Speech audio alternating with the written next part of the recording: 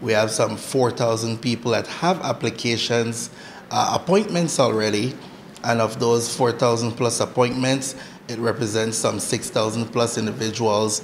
Individuals that have uh, made their appointments since the 1st of July online. We now have an appointment system, are coming in, coming in at their specified time. So that's why there's not a crowd outside. Everyone have a specific time for their applications. So they're coming in, they're submitting their applications to one of our three uh, amnesty clerks. Thereafter, they would have their information scanned, uploaded, and then that would take them to the next step, which would be the registration officer. After that, they would be given a receipt, and on that receipt, there would be a QR code that has their information. And once they scan that QR code, it tells them specifically where in the process their application is. Well, we're looking at individuals that have been in Belize for several years. We're looking at individuals that have invested in Belize, individuals that have family in Belize. So, uh, the basic criteria we have eight criteria. We're looking at one, individuals that have applied for refugee status, so asylum seekers. Two, individuals referred to us by the Human Services Department.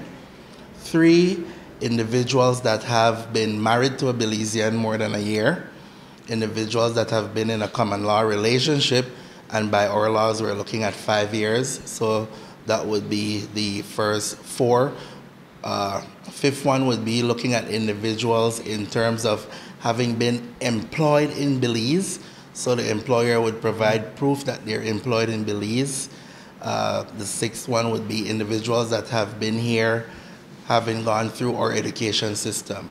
They now have, a, have an opportunity to regularize themselves and to make themselves legal permanent residents of our beautiful country. The message to the people out there is the people that qualify, uh, that qualify according to any one of those eight criteria, to take advantage uh, of, of this opportunity because um, it's a once in a lifetime opportunity to get themselves regularized. The um, application process or the registration process um, will last four months, commencing today.